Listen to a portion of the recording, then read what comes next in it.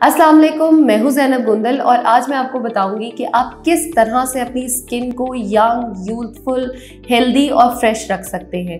आपने हमेशा से सुना होगा अपनी नानियों से, दादियों से कि चावलों का पानी जो है वो अपने बालों में लगाओ, बाल बहुत अच्छे हो जाते हैं। अपनी स्किन पे लगाओ तो स्किन बहुत अच्छी हो जाती है, लेकिन हम चावल मोस्टली इसीलिए नहीं लगाते क्योंकि हमें उसको पहले बनाना, रखना, ठंडा करना और फिर स्किन पे अप्लाई करना बड़ा ही मुश्किल काम लगता है। लेकिन सिल्तन प्योर ने आपके लिए ये काम बहुत आसान कर दिया है और सभी तरह के प्रोडक्ट्स जो आपकी स्किन के लिए और बालों के लिए रिक्वायर्ड है, वो बना दिए हैं। जिसके अंदर मौजूद है आपका राइस स्क्रब अगर आप स्क्रब को डेली बेसिस पे लाइक हफ़्ते में दो बार आप इस्तेमाल करें तो सारी जितनी भी डेड स्किन है, उसको आप रिमूव कर सकते हैं बहुत इजीली ऑयल जो है, आप उसको अपने बालों में इस्तेमाल कर सकते हैं। फर्मेंटेड राइस वाटर आपने सुना होगा कि वो आप अपने बालों में लगाएँ तो बाल हेल्दी लॉन्ग और शाइनी रहते हैं तो आप ऑयल का इस्तेमाल कर सकते हैं।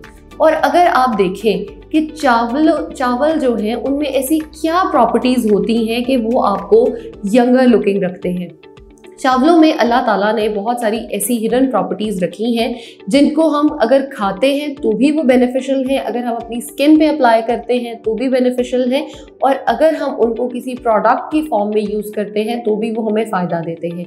स्क्रब इस्तेमाल करने से आपकी डेड स्किन जो है वो रिमूव होगी राइस जो है वो आपकी मिलाटोनिन की जो प्रोडक्शन है जो उसको कम करेगा। उसकी प्रोडक्शन कम होने से क्या है, जो आपका स्किन टोन डार्क होती जा रही है दिन ब दिन, उसको कम करेगा और आपकी स्किन जो है वो फेयर और यंगर लुकिंग होती जाएगी। आप चावलों का इस्तेमाल करना चाहते हैं, लेकिन आपको बनाना बहुत मुश्किल लगता है तो इन प्रोडक्ट्स का आज ही इस्तेमाल शुरू करें और हमेशा यंग और हेल्दी रहें। स्किन को अच्छा रखें, अपनी फाइन लाइंस रिंकल्स को ख़त्म करें और हेल्दी रहें। Thank you so much